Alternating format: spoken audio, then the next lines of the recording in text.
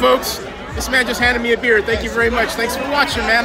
Tell me your name. I'm a diehard Raider fan. Yes, he is. My name is Herman Gill, and I support Oakland, but Oakland doesn't give anything for the Raiders. That's, I'm telling you the truth. Let me ask you a question though. Don't you think the Raiders could like ben, could like pay some attention to Oakland? Like, let me ask They you a could, question. they could, they could. Where's the- okay, I'll tell you. All right, all right. You buy, you buy a property. Yeah. You have no control of it.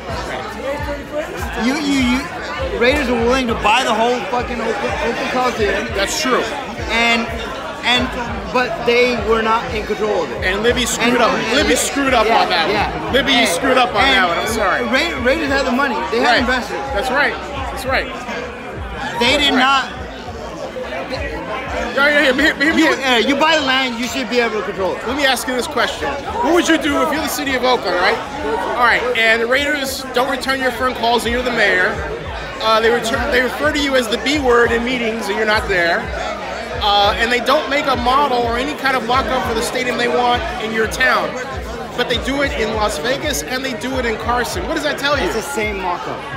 Yeah. No, but, but, but I'm saying, hey, couldn't they do that but, for Oakland? But, but the lease that they gave the Raiders, But here's the thing. but the lease that they gave the Raiders was favoring the A. But here's the thing. Here's the thing. A's Here- are leaving, so what And does A's- it- No, but here's the thing. Here's the thing. A's already know Oh, hold on, hold on a second. Here's the thing. Doesn't it? If you were the city of Oakland, wouldn't it piss you off that the Raiders didn't pay attention to building a stadium in your place?